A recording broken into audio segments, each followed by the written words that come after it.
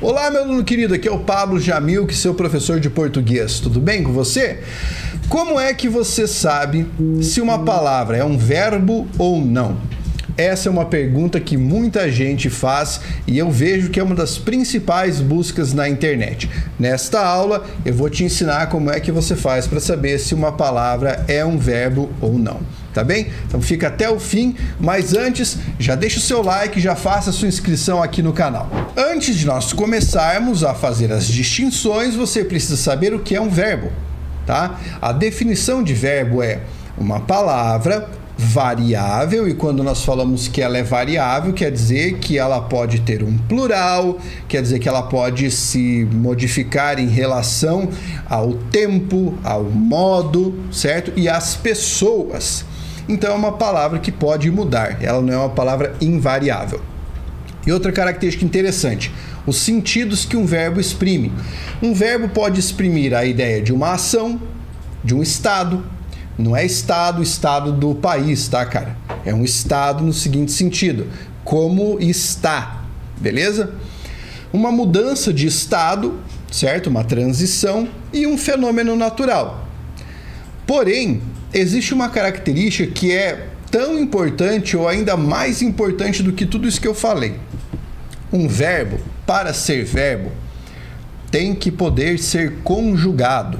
Ou seja, você tem que poder mexer nessa palavra em relação a tempo e modo, certo? Presente, passado, futuro. Essa é a ideia. Se você não puder fazer isso, se não puder mexer nessa palavra para dar a ideia de presente, passado, futuro, não é verbo.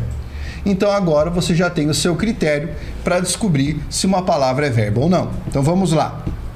Palavra chuva. Chuva é um fenômeno natural?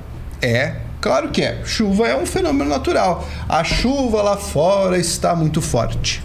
Agora, eu posso conjugar a palavra chuva? Eu posso falar de chuva? Eu posso pegar a palavra chuva e colocar alguma coisa nela para representar presente, passado, futuro? Não, não posso.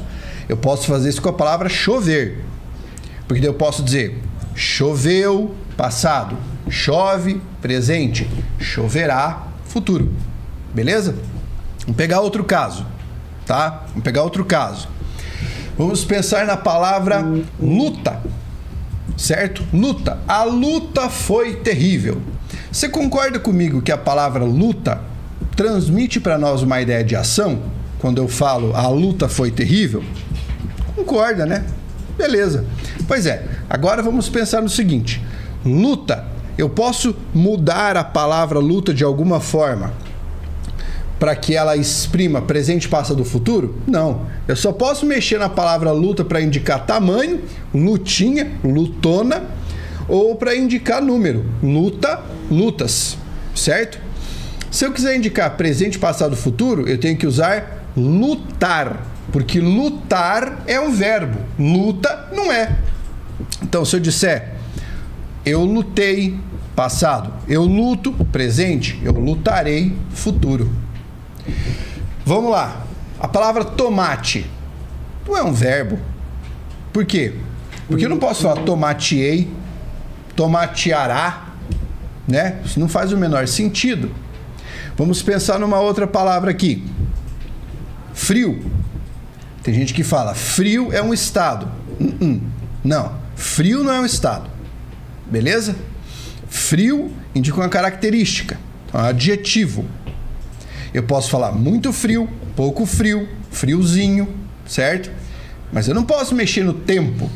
Agora, esfriar, sim. Porque esfriar é um verbo. Esfriou, esfria, esfriará.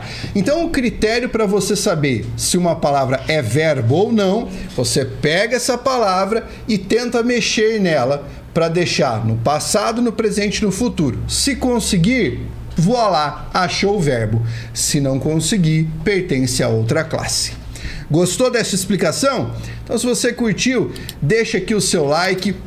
Convido você para conhecer minha página www.pablojamilk.com.br. Faça sua inscrição no canal e até o próximo vídeo. Força, guerreiro!